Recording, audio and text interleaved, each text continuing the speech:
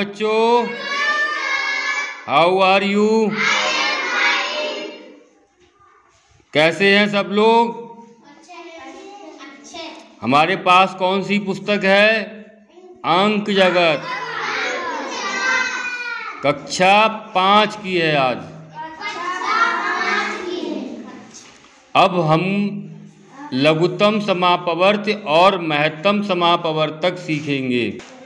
आज हम लघुत्तम समापवर्त और महत्तम समापवर्त। इनको लासा और मासा बोलते हैं, ये सीखेंगे।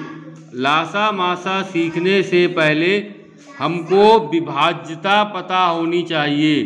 विभाज्यता, क्या कहते हैं इसको? विभाज्यता। लासा मासा पढ़ने से पहले हमको पता होना चाहिए विभाज्यता क्या होती है। विभाज्यता हम एक प्रश्न बताइए उसका उत्तर। दस केले दस केले दो लोगों को बांटना है तो प्रत्येक को कितने कितने केले मिलेंगे? कितने कितने केले मिलेंगे? वही दस केले पाँच लोगों में अगर बांटना हो तो कितने कितने केले मिलेंगे? दो दो। कितने कितने? और दस केले तीन लोगों में बांटना हो तो बताइए कितने कितने केले मिलेंगे? बांट पाओगे? बताओ। तीन लोगों में चार चार कहाँ से बट जाएँगे भाई? बांट पाओगे? नहीं बांट पाएँगे। क्या बताया? नहीं नहीं बांट पाएँगे। जब नहीं बांट पाएँगे तो उसको हम कहते हैं विभाज्य नहीं है। और जब हम बांट देंगे तो हम कहते हैं विभाज्य है। क्या कहते हैं? और जब नहीं बांट पाते हैं तो कहते हैं विभाज्य नहीं है। कैसे पता लगाओगे? जब हम भाग देते हैं और भाग देने पर शेष फल बचता है। तो हम कहते हैं, विभाज्य नहीं है। क्या क्या कहते हैं? जब शेष फल बचेगा तो विभाज्य नहीं है। जैसे तीन का भाग दस में देते हैं तो तीन तिया नौ। और यहाँ शेषफल कितना बचा? एक। तो दस जो है, किससे? तीन से विभाज्य नहीं है। दस तीन से विभाज्य है, नहीं है। अब हम क्या करते हैं? जब हम गुणनखंड निकालना सीखते हैं तो हमको पता होना चाहिए विभाज्य है कि नहीं है। तो हम पहले विभाज्यता सीखेंगे। पहले हम पता करते हैं दो से विभाज्यता। क्या पता करते हैं? यानी कि संख्या में दो का भाग जाएगा या नहीं जाएगा। इसके लिए हमारे पास एक नियम होता है। क्या है? कोई भी संख्या जिसका इकाई का अंक दो से विभाजित होता है वह संख्या दो से पूरी पूरी विभाजित होगी। जैसे 510, 6452 सब लोग इकाई का अंक जानते हो? सबसे आखिरी में जो अंक लिखा होता है उसको इकाई का अंक कहते हैं और उस इकाई के अंक में दो से भाग देने वाली संख्या कौन सी? जैसे हमारे पास दो का पहाड़ा है उसी को हम देख लेते हैं। दो के पाने में पहले क्या आता है? सबसे पहले आएगा दो के पाने में दो एकम, दो। फिर दो दूनी, चार। दो तिया छ दो चौकू, आठ।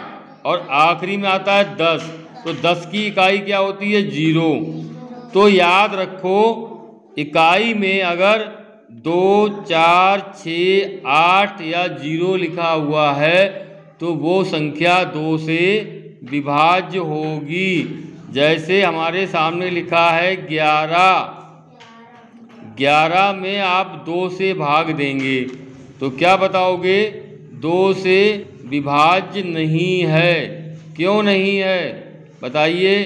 क्योंकि इसका इकाई का अंक कितना है? एक। तो पहला नियम क्या हो गया? अगर यहाँ पर बारह लिखा होता तो दो से इसमें भाग चला जाता। दो से भाग हो जाता। कैसे? दो का भाग दिया बारह में, दो का पाला पड़ा हमने छः बार। दो से छंग बारह। बारह से बारह घटाए कितना आया? ज़ीरो। तो भाग चला गया शेष फल ज़ीरो आ गया। समझ गए? अगला है तीन से विभाज्यता। किसी संख्या में तीन का भाग जाएगा या नहीं जाएगा, इसका हमारे पास भी एक तरीका है। तीन से विभाज्य संख्याएँ, यदि किसी संख्या के ध्यान से सुनिए, यदि किसी संख्या के अंकों का योग तीन से विभाजित हो तो वह संख्या तीन से विभाजित होगी। जैसे लिखा है सात सौ उनतीस और दो चौबीस हज़ार एक सौ उनतीस। संख्या के, क्या बताना था? संख्या के अंकों का योग। जैसे संख्या लिखी है पच्चीस तो पच्चीस में अंक कौन कौन से हैं? दो और पाँच। और दो और पाँच को जोड़ो, कितने आया? सात। सात में तीन का भाग नहीं जाएगा तो पच्चीस में भी नहीं जाएगा। पच्चीस। अंकों का योग कितना होगा? दो और पाँच। कितना आया? सात। कितना आया? सात। और सात तीन से, सात जो है, तीन से विभाज्य नहीं है। तो पच्चीस भी तीन से विभाज्य नहीं होगा। अतः पच्चीस भी तीन से विभाज्य नहीं है। कुछ समझ में आ रही है बात? आ? एक बड़ी संख्या लेते हैं, सात सौ उनतीस। सात सौ उनतीस तीन से विभाज्य है या नहीं, ये हमको पता करना है, क्योंकि पेपर में हमसे बड़े बड़े सवाल पूछे जाएँगे। अब हम चार में और पाँच में आ गए हैं तो हमको छः अंकों की, सात अंकों की, आठ अंकों की संख्याएँ मिलेगी। सात सौ उनतीस, सात, दो और नौ, इनको दोनों को, तीनों को जोड़ लो। सात और दो, नौ नौ और नौ हो गए अठारह। अठारह तीन से विभाज्य है। अठारह में तीन का भाग जाएगा। ध्यान से देखो पहाड़ा पढ़ लो तीन का। तीन का भाग जा रहा है? पिछक, अठारह। अतः सात सौ उनतीस भी कैसी है? तीन से विभाज्य है। थोड़ा कठिन तो है, दो की अपेक्षा।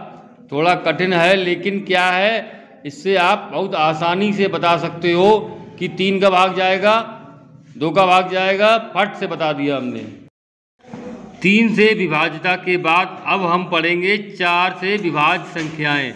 वे संख्याएँ जिनमें चार से भाग चला जाता है, ये पता करने के लिए हमको क्या करना है? संख्या के इकाई और दहाई अंकों की संख्या को देखना है। जैसे हमारी पहली संख्या है 124 इसका इकाई और दहाई का अंक दिखना है। कितना आ रहा है? 24 दूसरी संख्या है तीन हज़ार दो चार सौ अट्ठाईस इसका इकाई और दहाई है अट्ठाईस। अगर 24 और 28 चार से विभाज्य हैं तो ये पूरी संख्या भी चार से विभाजित होगी। यही है हमारा चार से विभाजिता का नियम। जैसे ये सभी संख्याएँ 124, 3428, 100, 1200 यानी 1200 या तो इकाई और दहाई के अंक शून्य हों, दोनों ही, या चार से विभाज्य हों तो वह संख्या चार से विभाज्य होगी। तो चार से विभाज्यता में इकाई और दहाई, इकाई और दहाई का अंक या तो डबल दोनों शून्य हों, या फिर चार से विभाज्य हों। कुछ उदाहरण, एक उदाहरण हम आपको बता देते हैं। उदाहरण में क्या है कि जैसे आपके पास कोई संख्या है तीन सौ चौबीस तो यहाँ पर इसका इकाई अंक है, इकाई और दहाई है चौबीस, और चौबीस जो है वो चार से विभाज्य है। तो इसलिए तीन सौ चौबीस भी चार से विभाज्य होगी। अतः तीन सौ चौबीस चार से विभाज्य है। एक संख्या है दो हज़ार सात सौ बाईस। तो यहाँ पर इकाई और दहाई अंक का है बाईस। और जो बाईस क्या है? चार से विभाज्य नहीं है। क्योंकि बाईस चार के पहाड़े में नहीं आता है। अतः निम्न संख्या दो हज़ार सात सौ बाईस भी चार से विभाज्य नहीं होगी। और अंतिम जो नियम है, अगर इकाई और दहाई दोनों शून्य हों, जैसे सौ, दो सौ, एक हज़ार चार सौ ये सभी संख्याएँ चार से विभाज्य हैं। तो ये था हमारा चार से विभाज्यता का नियम। अब अगला नियम है पाँच से विभाज्यता।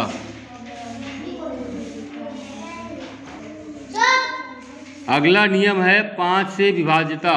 यदि किसी संख्या के इकाई के स्थान पर ज़ीरो या पाँच हो तो वह संख्या पाँच से विभाजित होगी।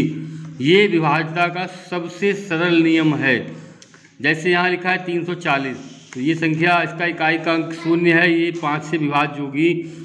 अगली संख्या में है सात हज़ार आठ सौ नब्बे, इसका इकाई का अंक शून्य है तो ये भी पाँच से विभाज्य होगी।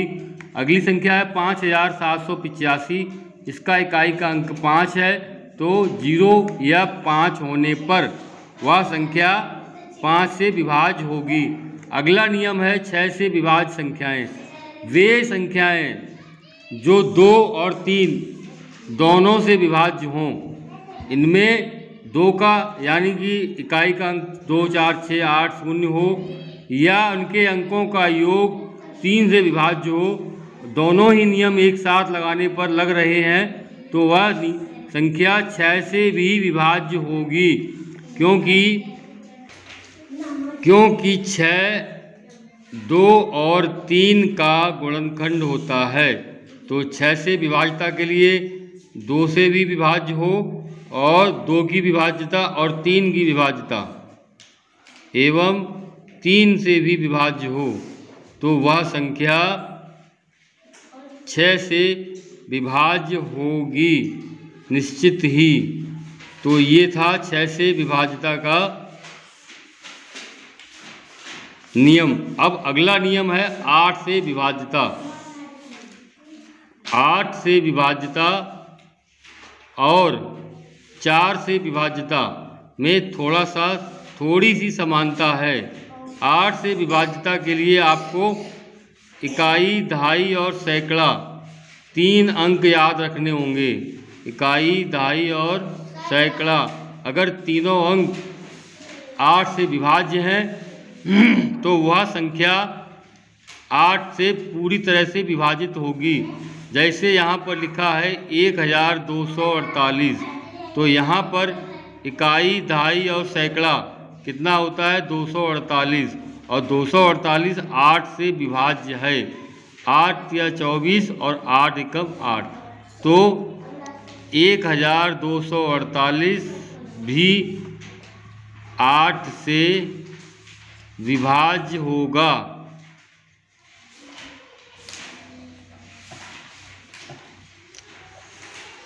या तीनों अंक शून्य हों तो भी वह संख्या आठ से विभाजित होगी। इकाई, दहाई और सैकड़ा, या तो आठ से विभाज्य हों, या तीनों ही अंक शून्य हों तो वह संख्या आठ से विभाज्य होगी। ये है आठ से विभाज्यता का नियम। अब एक नियम और याद कर लीजिए, जो मुख्य रूप से आता है, ग्यारह से विभाज्यता।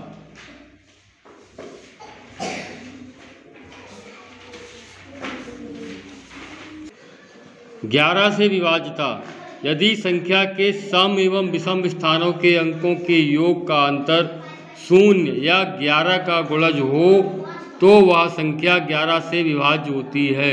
जैसे कि लिखा हुआ है, तेरह सौ इकतीस। ये संख्या ग्यारह से विभाज्य है या नहीं है? तो पहले सम स्थानों का योगफल। सम स्थानों।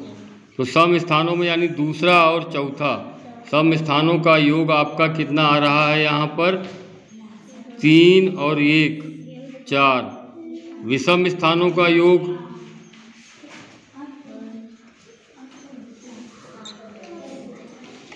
विषम स्थानों पर आने वाले अंकों का योग। ये भी आपका चार आ रहा है। एक और तीन। इनका अंतर आप निकालते हैं। तो अंतर कितना आ रहा है? चार में से चार आपने घटाया, शून्य आया। अंतर कितना है? शून्य है तो संख्या ग्यारह से विभाज्य होगी।